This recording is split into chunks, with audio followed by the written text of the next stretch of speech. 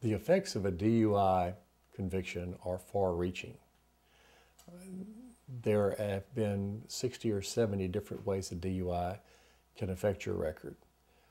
When talking about the total cost of a DUI, other transportation, cost of insurance, receipt and review of records for hiring, uh, the fact that it restricts your travel, keeps you from getting um, rental cars, restricts your travel to Canada, goes on your credit report.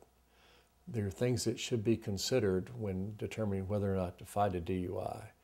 The total cost of a DUI first offense on the average person, we have calculated between sixteen and seventeen thousand dollars.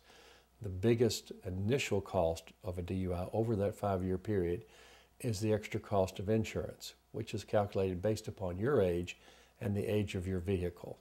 Should you have a company vehicle, for instance, the average worth of a vehicle to you would be $1,000 a month, including the cost of the vehicle, the insurance, and the upkeep.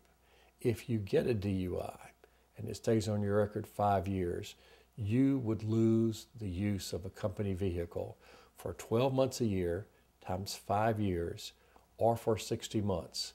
To put it another way, the loss of a company vehicle would be like a $60,000 fine. So the cost of the DUI cannot be calculated easily and is different for every person who is charged.